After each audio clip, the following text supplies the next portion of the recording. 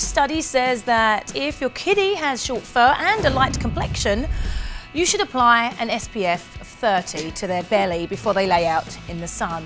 We're really talking about this. Mm -hmm. Wow. There's also a study revealing that 9 out of 10 people are overwhelmed by the millions of surveys they see in the news every day. There are. There's so many, aren't there? So many. Well, Erin Christy attempts to cut through the confusion of the endless health studies on The Breakdown.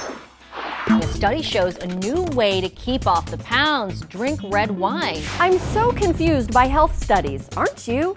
A new study suggests the best way to lose weight drink water. Well, so much for drinking eight glasses of water a day in order to lose weight and stay healthy. A recent study says that the practice could actually be harmful. Researchers want to help us get healthier. The more frequently you eat chocolate, the lower your body mass index may be. Many times these studies seem contradictory, but it's because they're really not similar at all. Dark chocolate and red wine are not the secret to better health. The problems? They're released to the public early, preliminarily. A new study finds heavy drinkers actually live longer than folks who abstain from alcohol.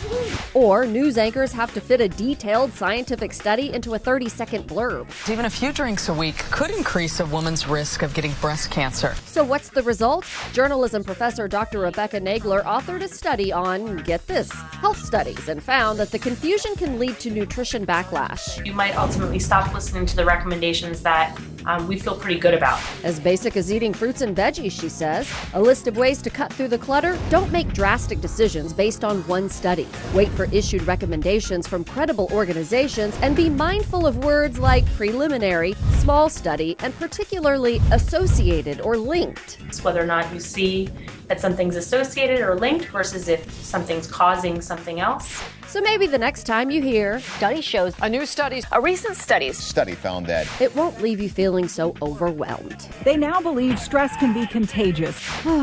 For the list, I'm Erin Christy.